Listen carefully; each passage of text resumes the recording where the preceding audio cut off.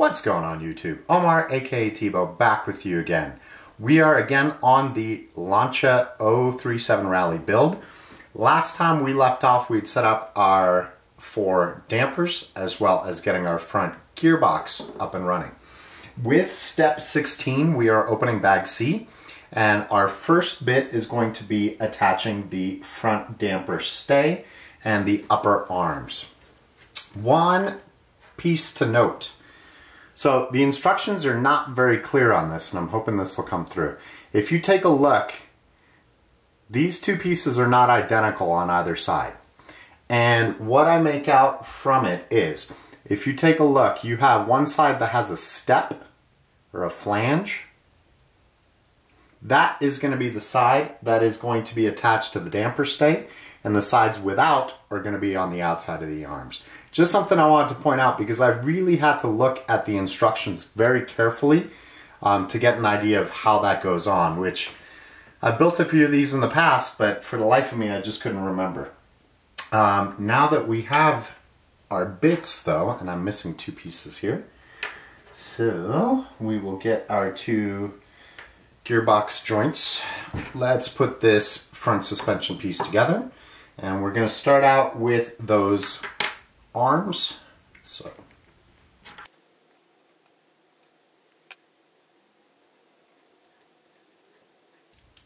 And always just hand tight, and because it's a suspension component, you want to make sure that it moves freely.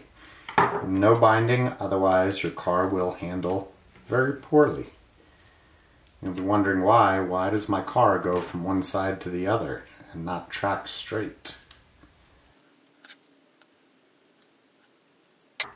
With the upper arms mounted, we are going to mount the front damper stay to the top of our front gearbox.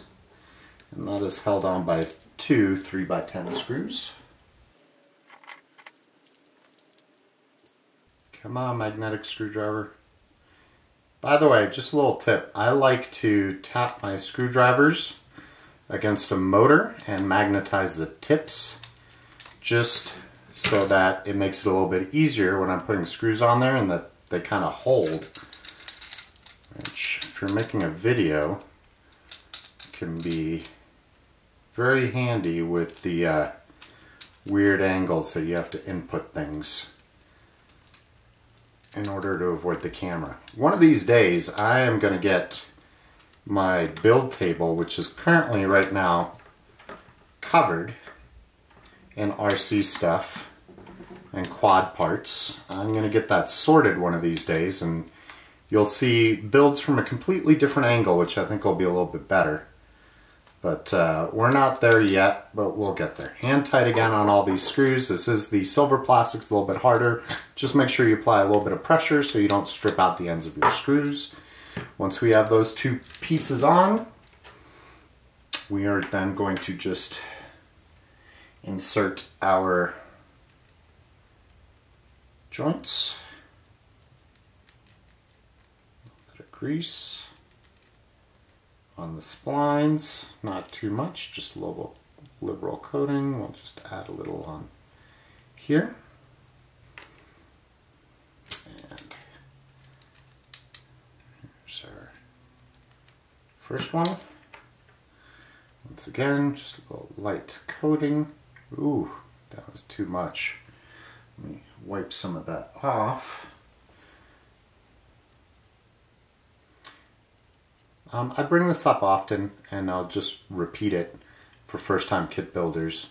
You know, they only give you so much grease in these kits and you might think it's not a lot. Um, there's actually a ton of grease in there and if you build the kit right, you're not going to use all of it. So if you get to the end and you use all of it, that's a pretty good idea that uh, you use too much. Anyways, we have our front damper stay, top arms, and the joints in place. Step 17 begins with the assembly of our front axles on this vehicle. Couple key points on here. Your little C-hubs, your upright holders, they look identical. They're not. They're two separate pieces. Um, they are shaped to go in a very specific way. So as you've noticed, I've laid them out in the way that I want. I have my C1 and my C13 over here so that I don't mess those guys up. Your arms, on the other hand, are identical. So it doesn't matter which one you use as long as you just put them facing the right way.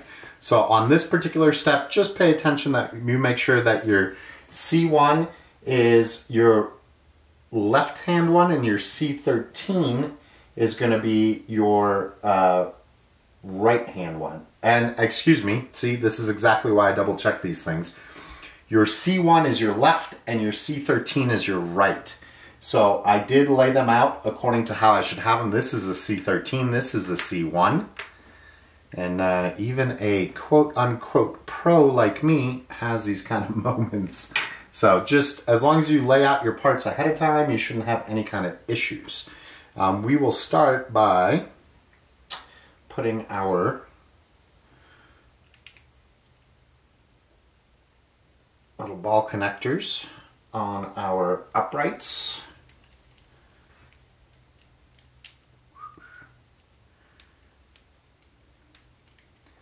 This is probably one of the quicker bags in this kit, just perusing the instructions in terms of uh,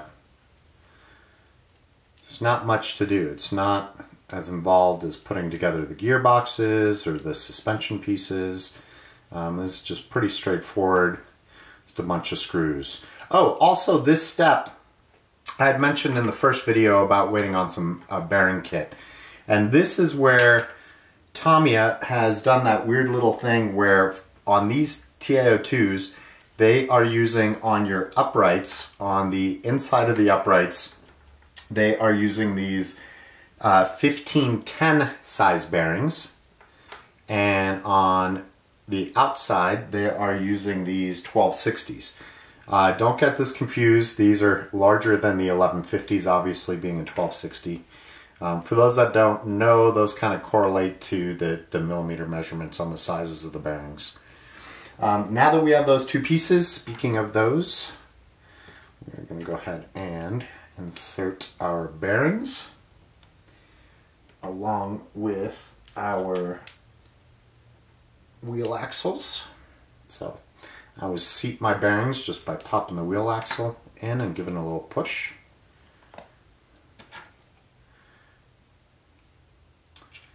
There we go. And then this step does call for an O-ring inside each one of these. So don't forget your little O-ring. These things are a pain to push in. Um, just when you go to final assembly, make sure one of them hasn't fallen out. I tend to use a little supplied Allen wrench just to kind of force it in there. When you get it seated at the bottom, it's, it's not going to fall out. Let's get the rest of our bearings on there.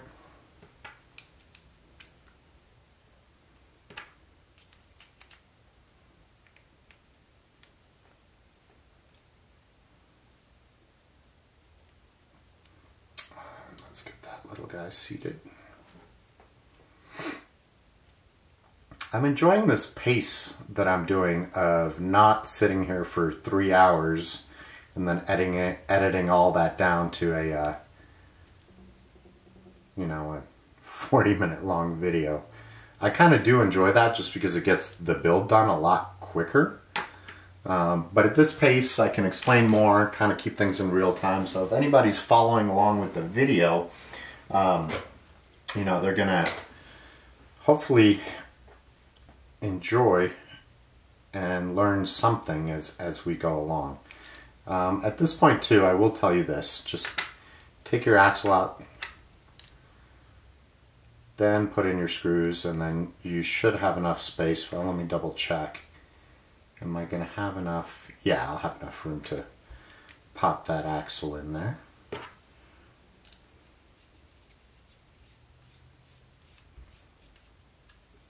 I love that they use the blue plastic on this.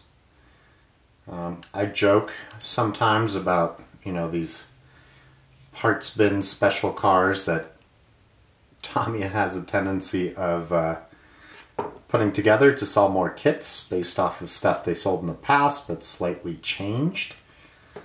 But I'm okay with it.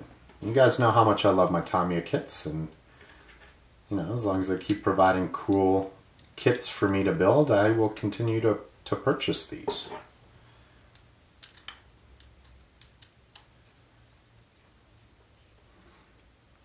For so many of us, Tamiya was such a big part of our childhood.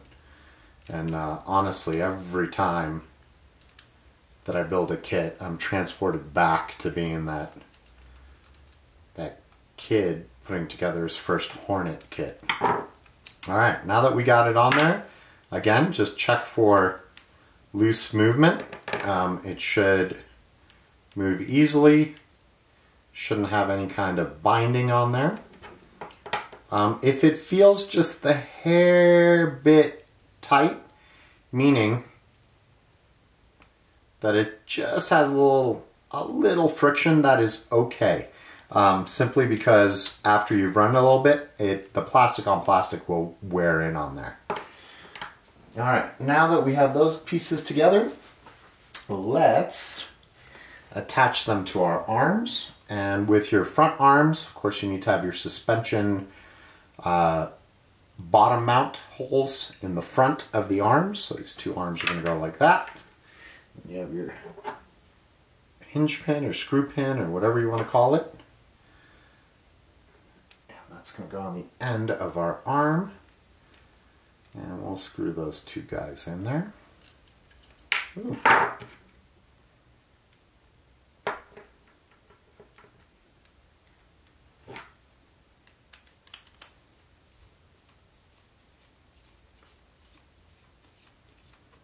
Just until it stops. Again, check for movement.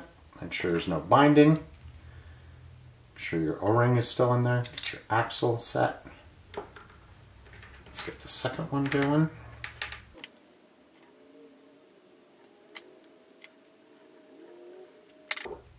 And now we have a set of assembled front arms. Step 18, we are going to attach our front arms to our front gearbox. Um, this is one of the quicker steps too. I, I, keep saying that. I don't know why I get so hung up on quick steps, but uh, I enjoy it. Makes life easy. So, just a few parts on this one. We need our, our U-bar. These are always a little tricky to line up.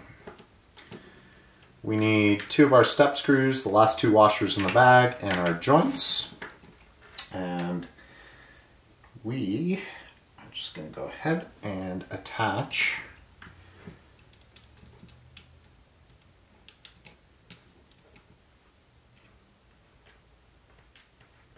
our upper arms. Don't forget before you do this to put your dog bone in there through the hole that's there. Okay.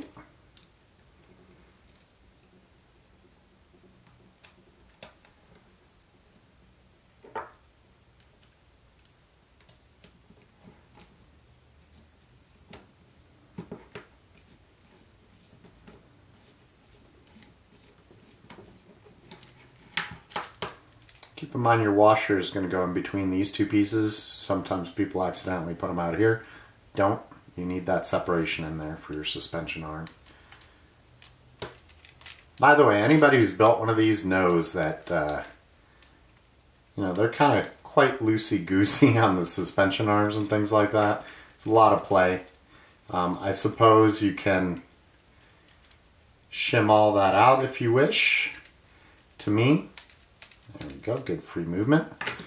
It's not that big of a deal, just because I have no intentions of going out and racing one of these, but I suppose if I was racing or doing any kind of competition with it, that uh, I would probably take the effort in the arms and spaces like that to, to shim it.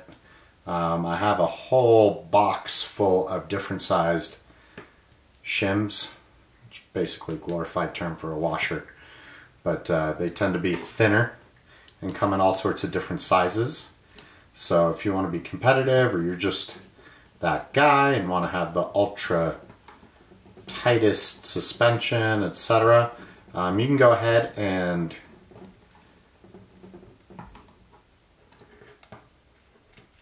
Good, nice free movement. And shim it out to your heart's content if you so feel. Now that we have our front gearbox all set, the final step that we're going to move on to is step 19 in the instruction manual. And I'm not going to cut to that, I'm just going to go right to it, which is just attaching our dampers to our front and rear gearboxes. So with our rear gearbox, we'll grab that guy. We need a couple, not a couple, we need all of our little flange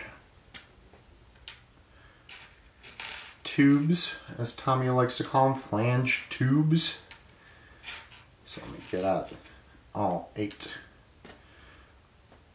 of the flange tubes, two for each shock. And then we need two of our 3x15 screws, which are the silver ones. And we need six of the 3x15 self tapered ones. Two, three, four, five, and six. Um, there's also a couple press nuts. Uh, if you've never used a press nut, the way that a press nut works is it's threaded. I don't know if this will come through, but they are threaded on the inside. You can see it has some spurs for gripping on the outside. As it screws in, those little teeth on the outside kind of bite into the plastic, which is what keeps a press nut fixed. Um, you generally don't find too many press nuts when it comes to RC cars, but for somebody who builds a lot of quads, the press nuts are uh, used extensively in quad frames. Um, that's usually how flight controllers or PDBs are held onto the frame is through the use of press nuts. They're really nice because they go in flush and look really good when they're built. Okay, so just tighten it. Don't go too hard because you could strip out your little press nut and that is never a good thing.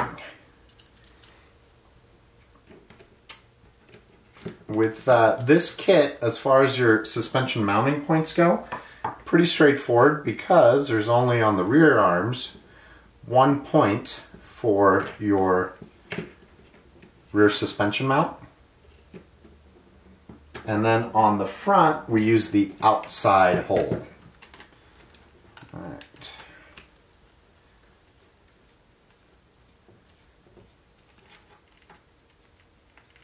screw it in until it's tight. That's one. Let's get our second press nut.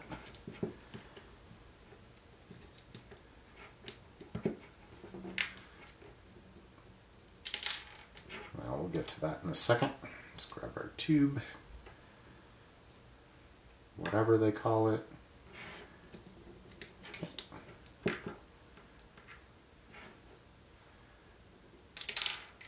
This is always fun doing this on video for you guys. You guys get to watch me fumble around with these screws.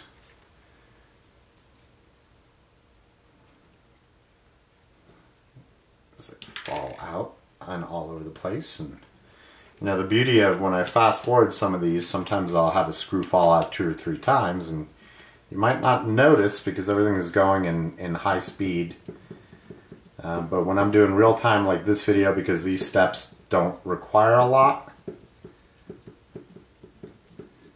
know, you get to see all of that. There we go, nice and tight. Double check this one, nice and tight. Final tube, flange tube, and final screw for the rear. Get that in the rear mounting hole. Maybe I should lift it up so you guys can see that rear mounting hole uh, or bottom mounting hole.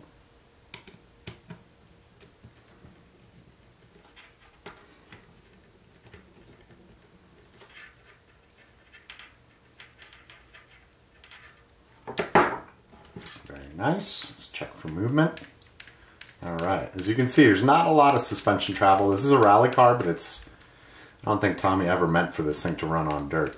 Um, as I'd said in the previous video when I was building the shocks, there's a very good potential that I might break these shocks open, remove the shock limiters um, so I can have some more travel on these shocks, as well as maybe play with the eyelets.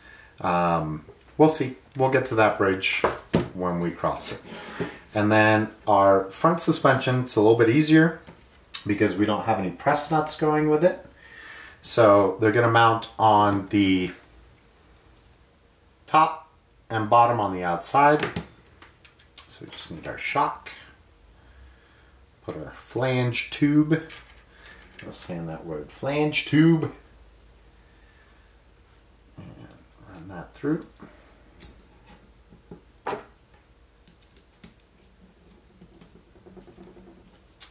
It off the table, otherwise we'll have a lot of shaking. Camera's not actually on the table, it's on a tripod, but in order for me to keep this view consistent, because I don't build all this in one go, um, I have everything spaced out. I'll show you guys a little trick that I do for my mat.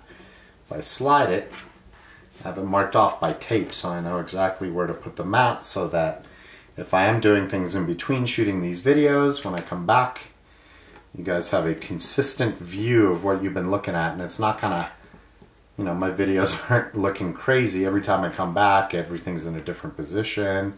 It's all very consistent. Consistency is good especially when you're building kits and or shooting videos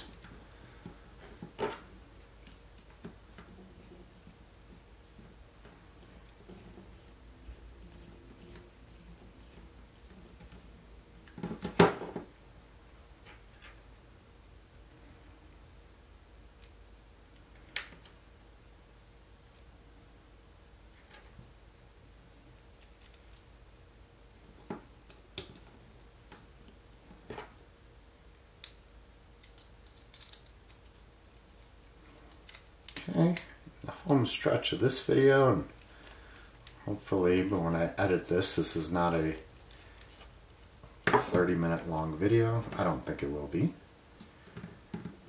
But I'm probably, I've probably exceeded 15 minutes because I don't think I'm going to be doing any any uh, fast mo or hyper speed for any of the work. So let's get this last screw.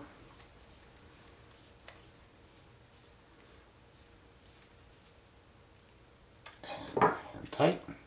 Check our suspension movement, very nice. And at this point we have our front and rear ends completed on our Lancia 037 Rally. The next video is going to be the last one in the build series. It is still snowing and cold, so I have no idea when I'm going to get the body all painted up. But as far as building the chassis, all that we have left is our tub chassis, electronics installation, getting our uh, propeller shaft in there that sends the power between the front and rear gearboxes from the motor. And then um, attaching our, our tires and we're gonna have a completed car. So once again, I thank you guys very much for hanging out with me on this build. I hope this was enjoyable. Um, if you guys have questions or comments, as always, leave them in the video in the video. Leave them down below. And then please, if you enjoy these videos that I do, go ahead and leave me a like and be sure to subscribe with notifications on. Um, one of the things I always look at YouTube analytics and it always cracks me up that 98% uh, of the views that I get on my videos are from people who are not subscribed. And I get a fair amount of views on my videos. So for those of you guys who watch my videos and don't subscribe, please help me out. Just hit that subscribe button. You don't have to hit the notifications, but just hit that subscribe button and I will appreciate it greatly. Anyways, guys, thanks, and I will see you on the next one.